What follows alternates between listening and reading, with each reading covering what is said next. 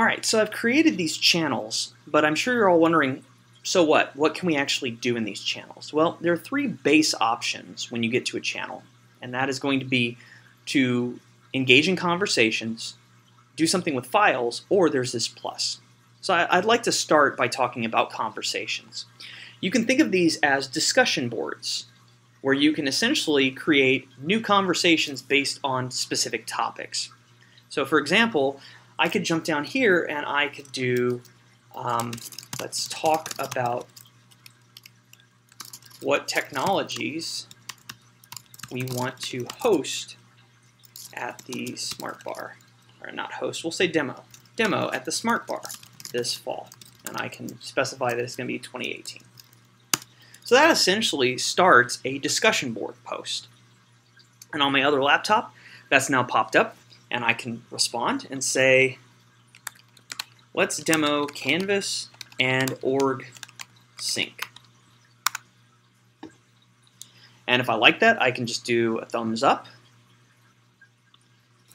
I can also then respond to it if I want to and say, um, should we include Google Drive? And essentially what this is going to do now is this is going to create a thread. So anybody who joins this and and adds to this thread, it's all going to wind up underneath this first post. Okay. Now, beyond that, if I want to come down here, I can also start a brand new post and say, what day should the smart bar be? So now I've started a second post here. And so then Canvas Facts is going to jump in on that and say, I'm just going to pick random dates here. I'm not actually verifying that these are days when things will be happening. But let's just say, for argument's sake, uh, we'll do September 14th or 15th.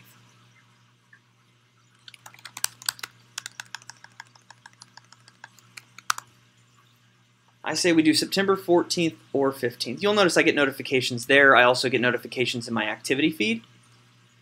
Okay, so Canvas Facts has now said let's do it on the 14th or 15th. Okay, so I want to use this as an opportunity to talk about a couple of other cool features of conversations. So you'll notice, first and foremost, in every conversation, I can actually choose to do several different things. I can open up this panel to custom code, or not code, but format the comments I'm going to send back. So I could say, great idea, Canvas Facts, and I could make Canvas Facts name bold. I also have the opportunity here to highlight if I want to. I can underline, choose italics, I can increase or decrease font size, I can change the color of the font, I can add in bulleted or numbered lists, I can change the actual formatting just like you could in an email, and I can even mark a particular piece of the conversation as important. So it's literally like using your email. But there's more. Now, I, I typed Canvas Facts here, but I didn't actually call Canvas Facts out. So let's say I had a directive. So I can say, great idea, Canvas Facts. Can you please reserve the spaces for those days?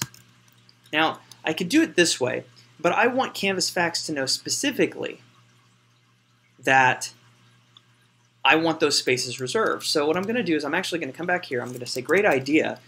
And then what you can do is you can actually call out people in your messages. So I can do an at symbol, and then if I type or start typing Canvas Facts after that, it gives me a suggestion.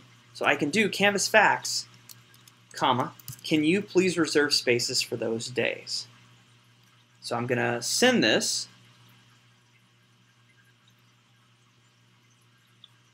There we go. And now Canvas Facts gets a particular notification on the other computer that I'll show you here in a second. So Canvas Facts has been called out. And what Canvas Facts can now do is we don't need to reserve those spaces for those days. He was originally saying we pick one of those two days. So Canvas Facts is going to respond and say to me, he's going to call me out and say I meant to pick, I meant for us to pick one day. Which day should it be? So I've been called out, and you'll notice the cool thing is now it actually gives a little tab letting me know that I've been called out. Now here's another really cool feature of Teams. Let's say that I, I thought this message was really, really important right here, where he picked the original two days. Um, so this one I can see is important because I get the tab, but this one here where he suggested the 14th or 15th, let's say I think that's important. Well, I can click on this little bookmark and it's now saved it to my profile. So anytime while I'm in my Teams, I can come and look at, look at my saved content and actually see what I've saved throughout all of my conversations. So it's a really quick way to get back to a conversation that you're having in one or more of your teams. Now, Canvas Facts told me we should pick one of those two days.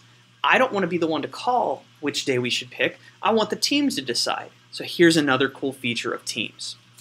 Again, I'm going to do the at symbol as though I'm calling someone out, but instead of calling out Canvas Facts, I'm going to do add a bot. Now, a couple of quick notes here. When you do the at symbol, for you to actually call out another user, you have to actually have that user in your team. So I, you'll notice I only have Canvas Facts in here with me. I don't have anybody else from the institution. Whereas in chat, I can go and talk to anybody from Colin. In your team, it has to be somebody who already exists. So I could call out Canvas Facts, but I'm going to add a bot. Bots are automated applications that integrate with teams. And the bot I'm going to use is called Polly.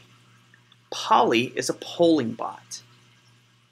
And so this gives you a couple of details about what Polly does. And I'm going to go ahead and add it. And now what I can do is I can call out Polly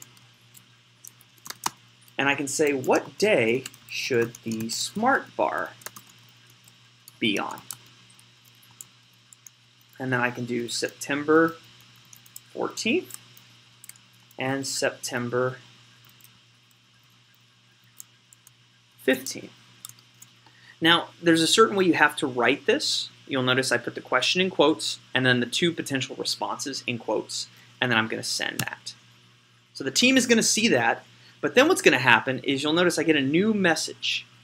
Polly has started a new chat line here where Polly is asking, what day do we want to have the smart bar on? So let's say that I say the 15th. And I can post the latest results and see that one person has voted for the 15th. But maybe Canvas Facts votes for the 14th. So now when I post the latest results, I see that we get those two dates. So it's a really easy way to quickly get feedback from your group. Okay, so what else can we do with conversations? Well, let me start a new conversation. I'm going to say, do we have a handout for the smart bar?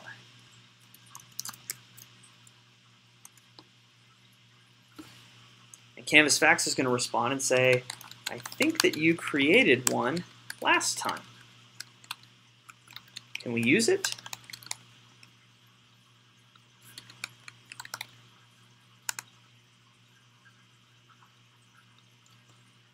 Okay, so I've been called out. I've been mentioned. And so here's the other cool thing. I can now go and I can add a file. Okay, so it's setting up my files. There we go.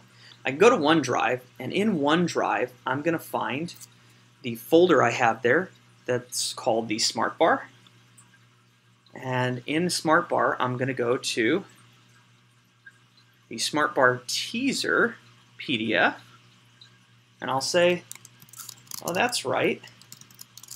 Here it is. And I can send that. Now, the cool thing is once I send that in the conversation, you know, Canvas Facts could choose to try and bookmark this conversation if he wanted to. But the cool thing is once I've added that file in the conversation, it's now officially added here to my files panel of this channel. Now, it is important to note, files here is different from files here. Your files over here in the global navigation is going to be your global files. So that's going to be your Microsoft Team files along with your OneDrive files. Okay, so you'll notice I can find it there, but I can also get to OneDrive here. But if I'm working specifically within my teams, when I click on files, it's only whatever files have been uploaded, not just to this team, but specifically to this channel. So if I go over to the general channel and I click on files, notice I don't see the Smart Bar promo here. Okay, and the same is true of all college day. Nothing. So smart bar here will have that file, but nothing else will. Now, a couple of other things you can do, since we've kind of talked a lot about what you can do with conversations, and I feel that now at least you can kind of see how cool it is, and I'll get to the meet now in just a moment, but I want to talk about that a little later. But I want to talk a little more about files. Okay? So we'll do that in this next tutorial. I want to talk a little bit more about all the options you have related to files.